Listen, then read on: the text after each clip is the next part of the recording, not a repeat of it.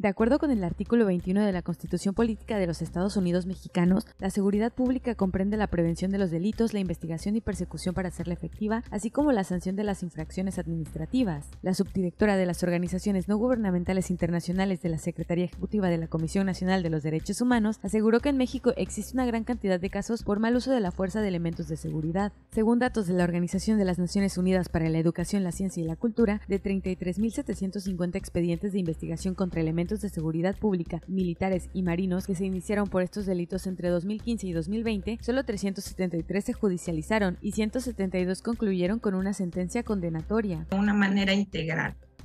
El Estado siempre tiene que facilitar a sus agentes a que en, en, la medida de sus capacidades y conocimientos se aplique la fuerza siempre y cuando sea necesario y como lo hemos reiterado en este foro, siendo como la última oportunidad. De acuerdo con estas mismas cifras, fueron 278 averiguaciones por homicidio doloso en la que se imputan a agentes de seguridad pública y de las Fuerzas Armadas, siendo Nuevo León el estado con más casos registrados. Aunque ya existen leyes que buscan proteger a la ciudadanía de las violaciones a sus derechos humanos, la impunidad que se vive en el país ha ocasionado que éstas sean casi obsoletas, por lo que es necesario reforzar estas medidas. Con imágenes de Daniel Santos informó para Mega Noticias Cabrera.